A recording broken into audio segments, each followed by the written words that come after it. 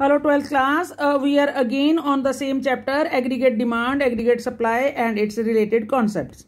Uh, in the previous videos, we just discussed about the marginal propensity to consume and average propensity to consume.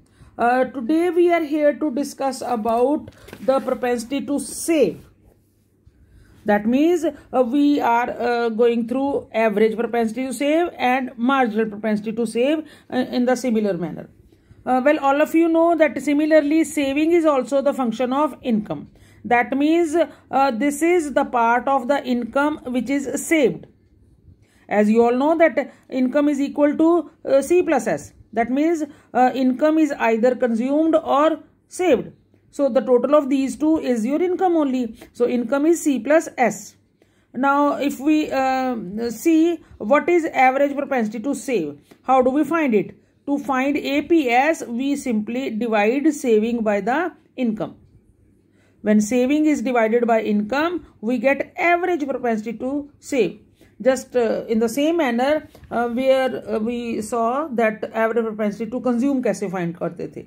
There it was C upon Y. Here it is S upon Y. So same table, uh, same details and similarly you can find out that uh, mine, uh, how do we find APS? Saving. Here the saving was uh, minus 20 and your uh, uh, this one consumption income is 100. So saving divided by 100 you have got 0.2.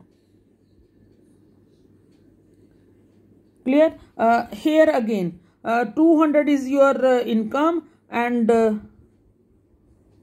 see saving is 0. That means 0 upon 200 so APS is 0.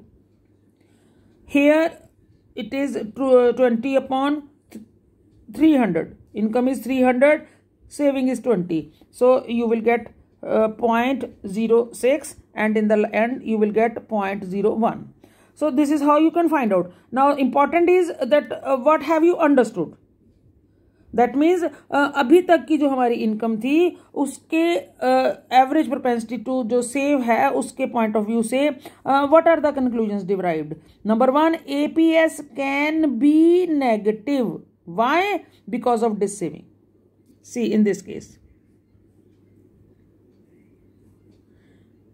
see in this case clear second is APS can be zero also see here when it can be zero when your income is equal to consumption that means you have saved nothing whatever is your income that is your consumption so in this case uh, this can be zero और इसको हम क्या किस point से जानते हैं in the previous videos I have told you this is known as the break even point what is break even point when your saving is zero or you can say when your consumption is equal to your income and uh, third and the last conclusion you can derive that APS can never be zero. Average propensity to save can never be zero. Uh, can never be one, sorry.